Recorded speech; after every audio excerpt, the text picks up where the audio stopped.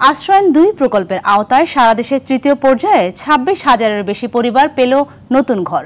সকালে গণভবন থেকে দেশের চারটি উপজেলার সঙ্গে ভার্চুয়াল মাধ্যমে যুক্ত হয়ে ঘর বুঝিয়ে দেন প্রধানমন্ত্রী শেখ হাসিনা। তিনি বলেন, দলমত নির্বিশেষে সবার জন্য ঠিকানা নিশ্চিত করতে চায় সরকার। এ সময় চলমান বিশ্ব জ্বালানি সংকট মোকাবেলায় দেশের প্রতিটি মানুষকে বিদ্যুৎ ও জ্বালানি ব্যবহারের সাশ্রয়ী হবার পাশাপাশি সঞ্চয়ী হবার পরামর্শ দেন সরকার প্রধান। তিনি বলেন, কেবল বাংলাদেশই নয়, সাশ্রয়ী হবার এমন উদ্যোগ বিশ্বের উন্নত দেশগুলোতেও হাতে নিয়েছে। নেতারা তারা তাদের জমি থেকে জমি দিয়েছে। আমাদের নিজেদের একটা অভিজ্ঞতা আছে।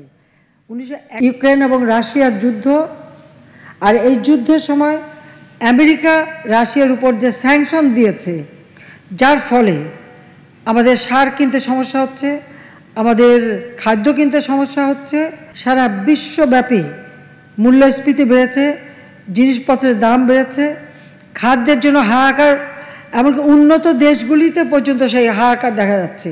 আজকে আমেরিকা বলেন, ইংল্যান্ড বলেন, সব জায়গায় কিন্তু তারা ওই বিদ্যুৎ সাশ্রয় করা পেট্রোল সাশ্রয় করা, ডিজেল সাশ্রয় করা, জ্বালানি সাশ্রয় করার সেই উদ্যোগ উন্নত দেশগুলিও নিয়েছে।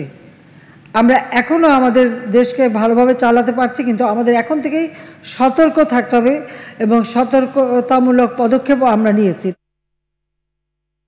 দর্শক, এই মুহূর্তে বাগেরহাটের রামপাল উপজেলার গৌরম্বা আশ্রয়ণ প্রকল্প এলাকায় আছেন সহকর্মী জুলহাস কবির।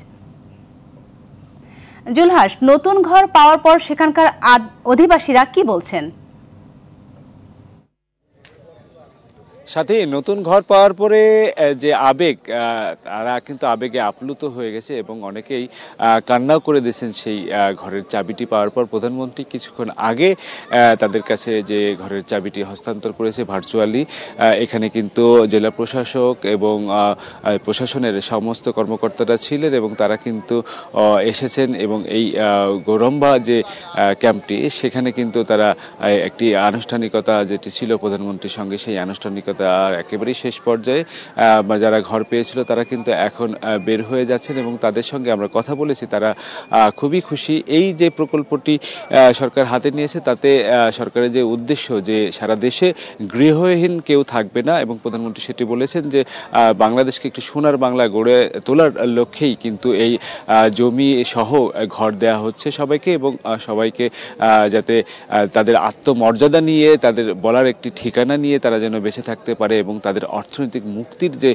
সুযোগটি, সেটি কিন্তু এই একটি গৃহ তাদেরকে সেই সুযোগটি করে দেবে, সেটি কিন্তু প্রধানমন্ত্রী বলেছেন এবং আগামীতে যে সকল মানুষ এখনও গৃহহীন আছে, সবাইকে গৃহ দেওয়ার একটি পরিকল্পনা তারা সরকার করেছে এবং সেটি নিশ্চিত করার জন্য প্রশাসনকে কিন্তু কঠোরভাবে নির্দেশ তিনি দিয়েছেন, যেখানে গৃহহীন থাকবে সেই মানুষগুলোর তালিকা তৈরি করে সুষ্ঠুভাবে তাদেরকে যেন সুন্দর একটি গৃহ নির্মাণ করে দেওয়া যায়, সেটির ব্যবস্থা করেছেন। তবে গত আগে বারের তুলনায় এবারে যে ঘরগুলো তৈরি করা হয়েছে, সেখানে বাজেটে কিন্তু বাড়িয়েছেন এবং ঘরগুলো আরও বেশি টেকসই মজবুত করা হয়েছে। সাথী। আপনাকে অসংখ্য ধন্যবাদ। এতক্ষণ বাগেরহাটের রামপাল থেকে যুক্ত ছিলেন সহকর্মী জুলহাস কবির।